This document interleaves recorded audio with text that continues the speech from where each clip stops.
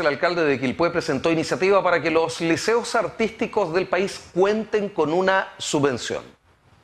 Que los liceos artísticos del país dispongan de la misma subvención que reciben los establecimientos de las áreas científico-humanistas, propuso el alcalde de Quilpué, Mauricio Uñambres, a los integrantes de la Comisión de Educación de la Cámara de Diputados en el Congreso Nacional.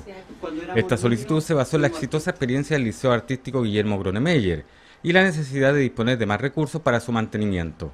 tengamos una iniciativa que queremos hablar con el Ministerio de Educación, que la subvención que se entrega hoy día al Liceo Educación eh, Científico Humanista y nosotros queremos que tenga la categoría de técnico, en el sentido, pero técnico del área artística. Esto es una iniciativa, yo diría, distinta en el país, eh, de formar a través de la educación artística, ha sido un resultado importante que hemos tenido